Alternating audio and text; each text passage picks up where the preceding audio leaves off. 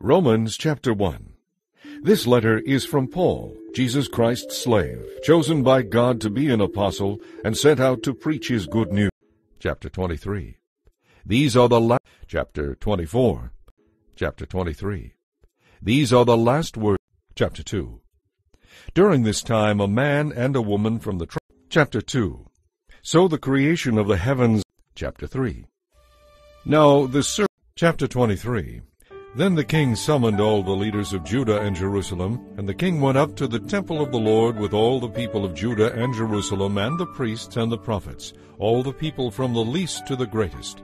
There the king read to them the entire book of the covenant that had been found in the Lord's temple.